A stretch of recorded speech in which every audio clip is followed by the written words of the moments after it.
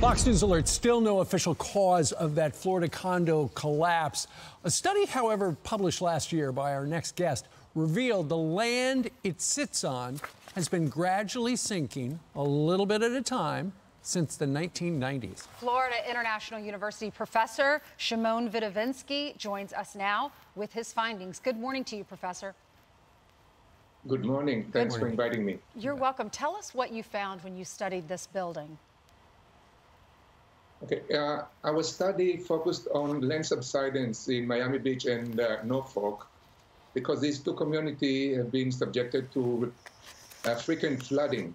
Uh, as sea level uh, increases, uh, there is there were in, more flooding in both communities, and we wanted to evaluate what was the contribution of land subsidence to that because flooding can occur or because sea level is rising or the land subsides. Sure. So we use a technology which is called INSAR, which stands for Interferometric Synthetic Aperture Radar.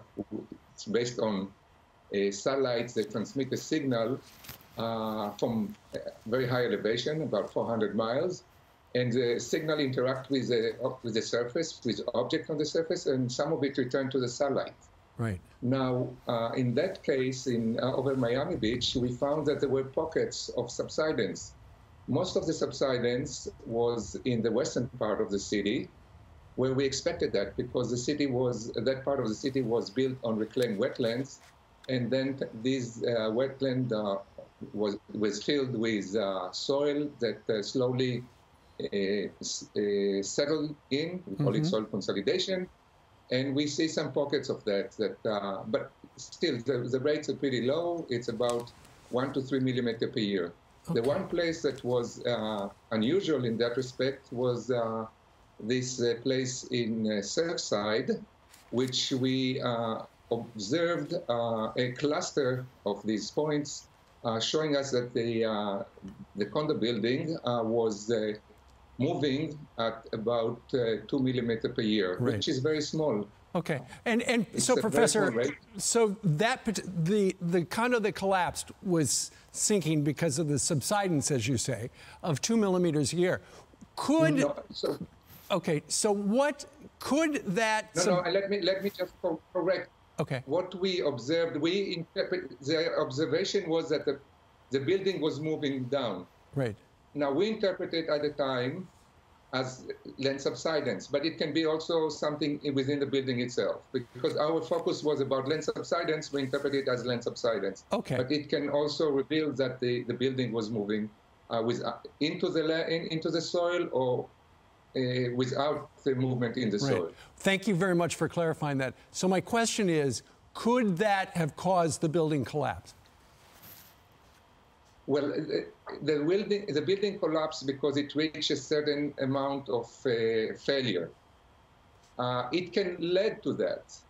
And now the, these uh, slow uh, movements, uh, they um, usually, typically, when we go to buildings where we see something like that, we see cracks.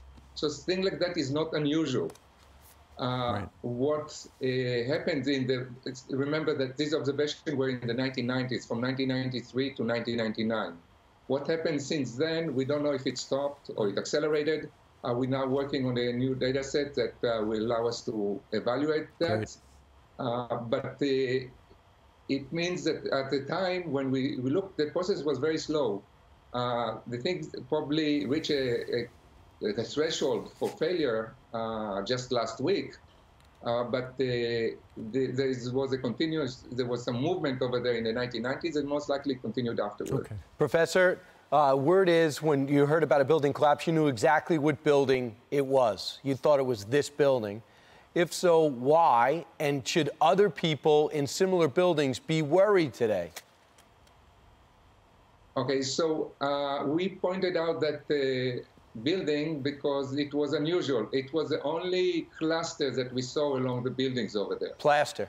Uh, people should be uh, worried. Uh, to, first, they have to check to see the, the uh, their buildings if it's uh, in good conditions. Uh, what we can do, what we did in the future, I, I, that's what I'm promoting now, is to use this technology to see if there's movement in buildings. Yeah.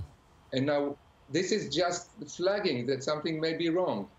Uh, but uh, it's a the responsibility of the owners is to check if something is wrong, if something is moving, uh, if there is a structural problem, and they need to fix it. Yeah. I, we cannot really detect these things. We can just flag there is a might be a problem. Did you flag any other buildings in that area? No, Okay. Uh, but we didn't flag because that wasn't the focus of our study. Right. Our Right. study was focused on land subsidence, how its impact uh, flooding in uh, the community of Miami Beach and Norfolk. Interesting stuff. All right, So Professor. we, did, we didn't Yeah. focus on building. We, we focused on, On the on land. the land. Right. Indeed. See if All we right. should build that wall. Professor, thank you very much for joining us. Interesting stuff. You are very welcome. Thank you.